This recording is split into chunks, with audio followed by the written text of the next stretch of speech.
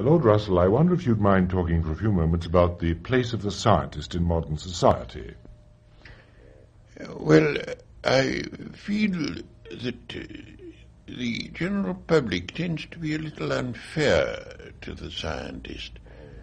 It is true that uh, some scientific discoveries can be put to very bad uses. But it's not the business of the scientist to think whether in the pursuit of knowledge he is giving dangerous knowledge or useful knowledge. That is for the politician to think. And in fact, the scientists discover ways of prolonging life and ways of shortening life. And the politicians seize with avidity upon the ways of shortening life, but tend to ignore the ways of prolonging it. And that's the fault of the politician and not of the man of science. What then do you feel are the intellectual responsibilities of the scientist towards the society in which he lives, or perhaps one should say towards mankind?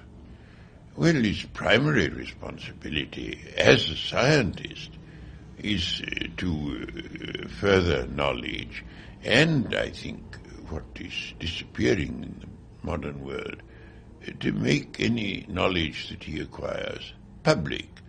That, I think, is the, the primary responsibility.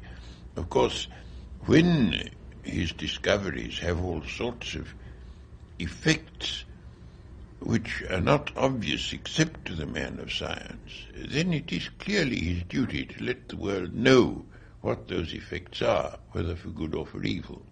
Then there's pure research. That's of great importance, isn't it? Oh, yes, I think pure research is of immense importance.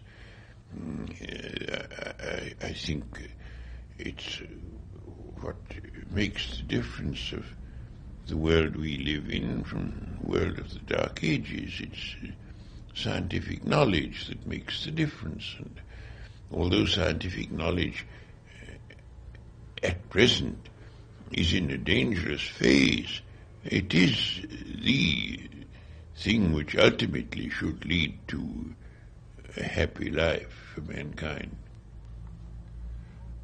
And what uh, of this current uh, controversy concerning science and the arts in education?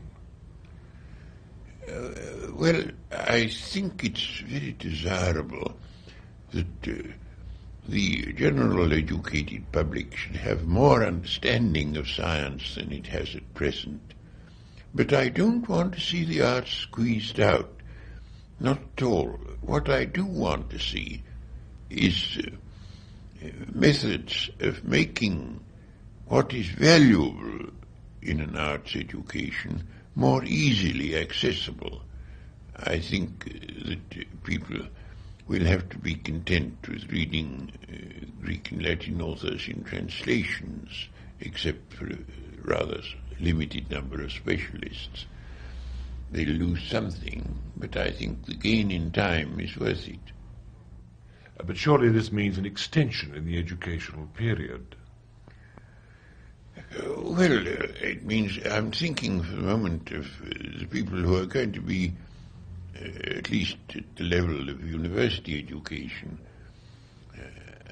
And I don't think it does mean an extension for them. I mean, if a person is going to be educated up to the age of 21 or 22, I think it can easily be done if people will give up certain traditional pedantries which are not of very great importance. Now, Lord Russell, what hope does the future hold for mankind as you see it?